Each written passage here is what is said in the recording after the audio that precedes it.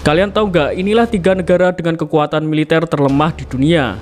Peringkat ketiga negara Kosovo. Kosovo menempati peringkat 140 untuk kekuatan militer dunia. Memiliki personel militer hanya 6.500 orang.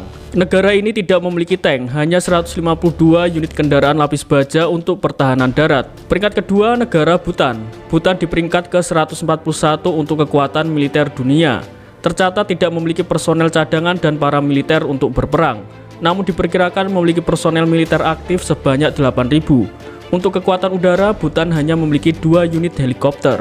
Peringkat pertama negara Islandia. Islandia berada di peringkat paling akhir yaitu 142 militer dunia. Islandia tercatat sebagai negara yang tidak memiliki kekuatan tentara tetap, namun mempunyai pasukan yang dipersenjatai untuk menjaga kawasan. Meski tidak memiliki militer, Islandia menjalin kerjasama dalam bidang keamanan dan termasuk anggota aliansi militer terkuat di dunia yaitu NATO.